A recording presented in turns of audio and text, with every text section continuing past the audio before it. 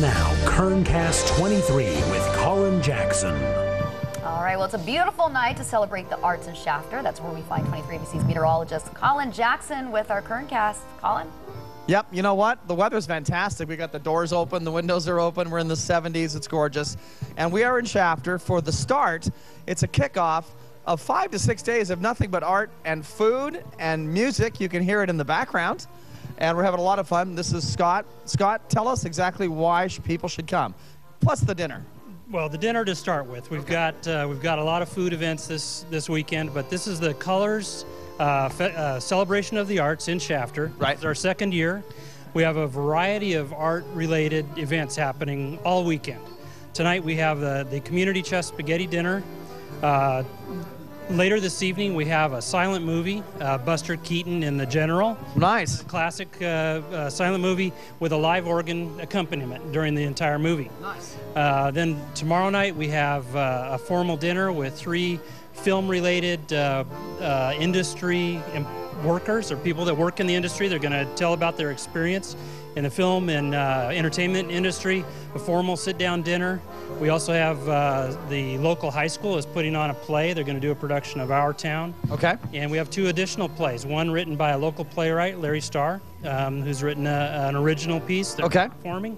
And uh, also the Shakespeare Festival from Bakersfield will be performing uh, Midsummer Night's Dream. So this is like the busiest weekend in Shafter. This is my busiest weekend in Shafter for sure. Uh, I bet it is. And guess what? Uh, the spaghetti dinner is tonight.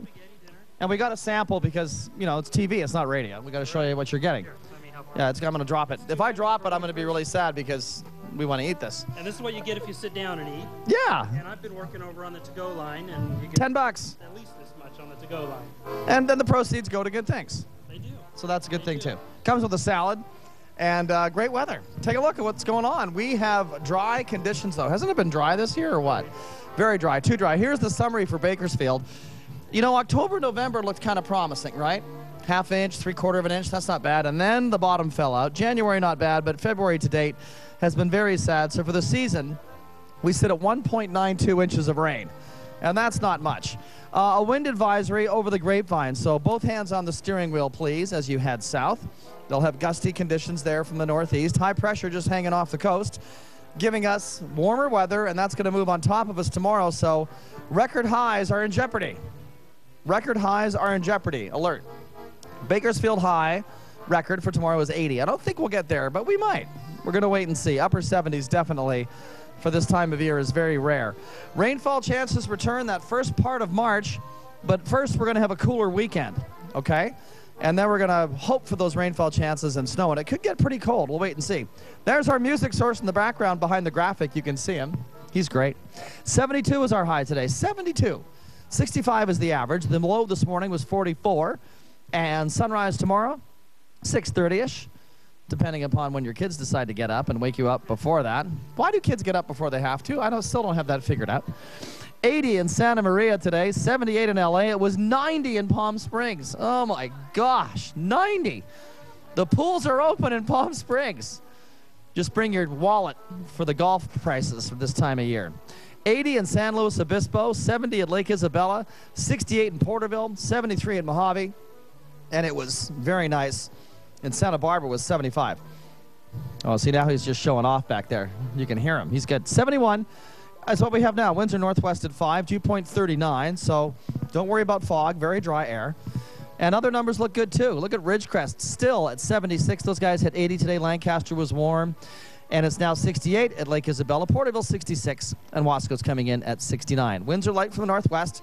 Tomorrow they'll turn a little southeasterly and warmer.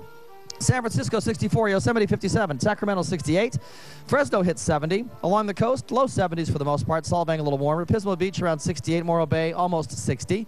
And to the southland, temperatures look awfully nice too. Upper 70s from LA to Disneyland, 80 to 90 in Palm Springs. We're going to wait and see if that wind picks up there. 70 in San Diego. Southeast winds tomorrow at 5 to 10. Most locations low to mid 70s. Very pleasant weather. This will be the last warm day before we cool off into the mid 60s for the weekend. Also into the foothills and our mountain friends up at Lake Isabella, 73. Same thing for the Heights. 68 in Kernville, and Glennville goes to 68. 62 Tehachapi. Desert regions, a little windier, and highs in the mid 70s. So very nice weather on the way. All right, what can we expect for our area overnight in Bakersfield? 45, clear skies, a light southeast wind at 5 to 10 miles per hour, very pleasant weather for the overnight. And tomorrow's high, 75, mostly sunny, southeast winds at 5 to 10 miles per hour. Might get a little warmer, but regardless, the pollens are just going crazy. You can see everything blooming out there, 8.9. Wood burning is allowed, but please burn cleanly, 74, and moderate air quality for tomorrow. And here's our seven day forecast. The weekend is almost here, and it will be cooler and cooler for most of next week. So, you know what? Go ahead and wash your car. Our rainfall chances are very slim. And in the Kern River Valley, the same kind of cool down, but even cooler on Sunday into the upper 50s. And for the mountains, we will have temperatures that are cooler as well, mid 50s for places like Tehachapi and maybe some 40s on Monday. So, again, the first week of March looks like we could have a sprinkle of rain. And there are mushrooms in here and fresh tomatoes, the whole deal. It's ready to go. I wonder how long it'll take for this to be gone before the crowds show up. We're reporting live in Shafter. I'm Colin Jackson. Back to you in the studio. Eat your hearts out. Oh, we're jealous. Our stomachs are growling over here.